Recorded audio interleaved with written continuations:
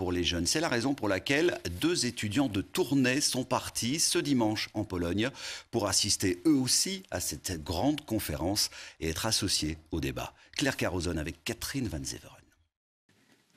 Notre planète surchauffe et il faut arrêter de jouer avec. C'est le message que Maya, étudiante en illustration, va porter à la COP24. Alors concrètement sur mon affiche, on voit euh, une main au-dessus d'un feu qui joue avec un yo-yo, mais en fait le yo-yo c'est la terre.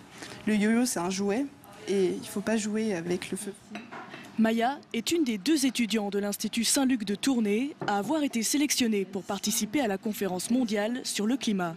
Avec Diego, elle va étaler les affiches de ses camarades devant les grands dirigeants de ce monde.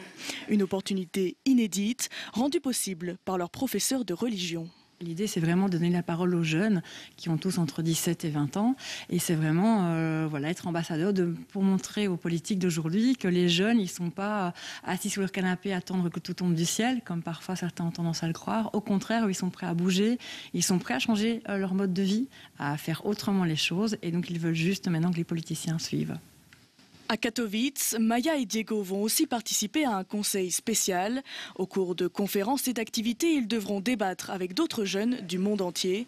Objectif, échanger pour mieux lutter ensemble. De partager ce que eux font dans leur pays, de, leur dire ce que nous on fait, et euh, ben, d'échanger les idées, de proposer des nouvelles choses une fois à notre tour, et, euh, aussi euh, de montrer que tout n'est pas perdu, de montrer que si ça marche ailleurs, ça peut marcher ici aussi.